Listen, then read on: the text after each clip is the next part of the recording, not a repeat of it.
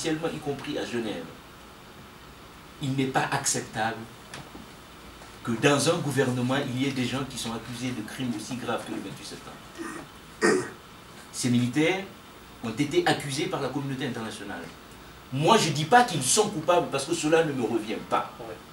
Je dis simplement que la gravité de l'accusation suffit d'ailleurs pour eux-mêmes de se mettre en disposition à vouloir se défendre s'ils sont coupables ou s'ils ne sont pas coupables. C'est vrai que cette situation est une situation absolument incompréhensible. Mais je l'ai dit, ce que je vous dis là, ce n'est pas une... Euh, pas un ministre qui vient parler à l'étranger et qui dirait sa position. C'est connu ma position dessus. Je l'ai écrit.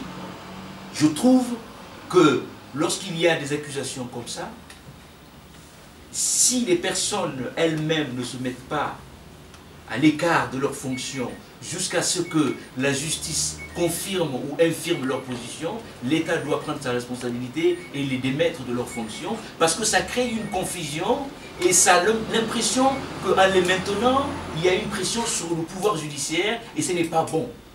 Pour le 28 septembre, nous devons, et je veux vous assurer que le 28 septembre, ça sera rendu. C'est vrai que ça met du temps, mais quand vous prenez le temps, la durée des du, processus d'instruction du 28 septembre, il y a des, multiples dimensions dedans. Il y a d'abord la dimension institutionnelle. Je ne sais pas si vous savez l'état de la justice en Guinée, de l'institution judiciaire. J'ai fait la tournée à l'intérieur du pays. Quand vous allez à Pita, à Danaba, vous avez des tribunaux qui sont dans des maisons privées en location. Location. Vous avez des commissariats qui sont dans des maisons privées. Vous avez des prisons qui ne sont pas fermées. Et nous sommes arrivés à un niveau dans la société guinéenne où les choses sont difficilement désormais cachables. On ne peut pas cacher.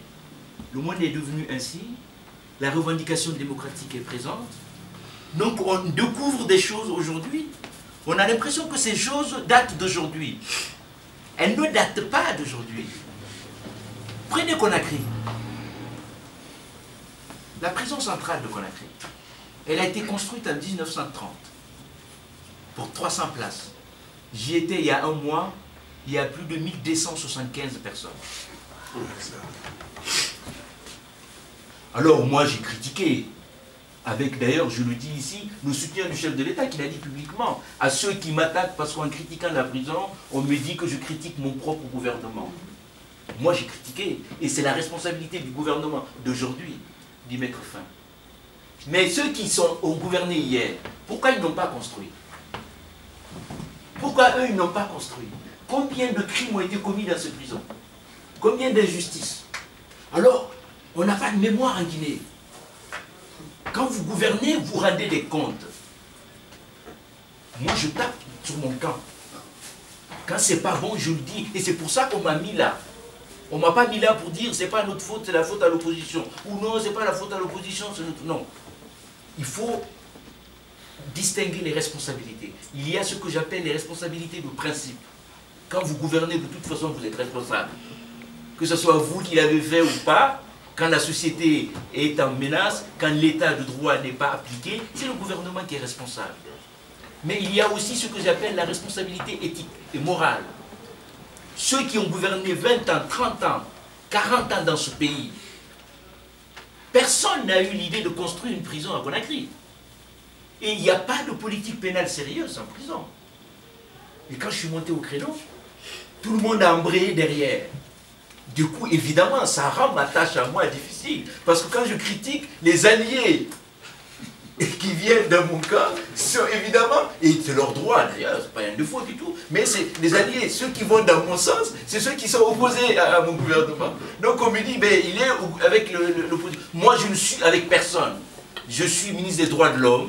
Lorsque les droits de mes concitoyens ne sont pas respectés, je le dis, je le dis très clairement. Je suis allé à la gendarmerie de Abdallah, où j'ai reçu dans mon ministère beaucoup de plaintes de torture. Je l'ai dit. Je l'ai dit, il y avait les médias là. C'était des visites qui n'étaient pas prévues. Donc, pour le 28 septembre, il y a d'abord la difficulté qui est propre au fonctionnement de la justice en Guinée. Cette difficulté est là. Il y a évidemment une conjoncture politique totalement polluée. Et je dis aussi, en Guinée, moi je reçois toutes les victimes du 28 septembre, toutes les associations, mais aussi d'autres événements.